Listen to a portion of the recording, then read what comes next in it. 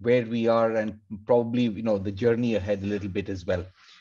So the first phase of entrepreneurship for me you know is really from 1947 till liberalization which was about 1991 so the first uh, almost uh, 45 years of independence was uh, a typical license control raj where the government chose to occupy the commanding heights of the economy decided to you know control manufacturing decided to do business you know as much as uh, you know enable and regulate business they also decided to do business.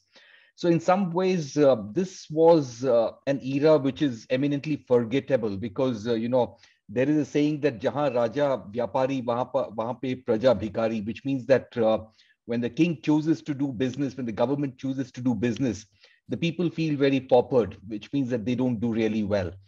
So uh, it was those days, you know, when only family businesses ever chose to do work in business. There were very few or no first generation entrepreneurs. Everybody was intimidated by the kind of regulation that existed, the kind of controls that existed. Profit wasn't a good word.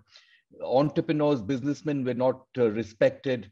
So many, you know, first potential first generation entrepreneurs uh, took up uh, jobs in the private sector. Some of them took up jobs in the government but very few went on to you know run businesses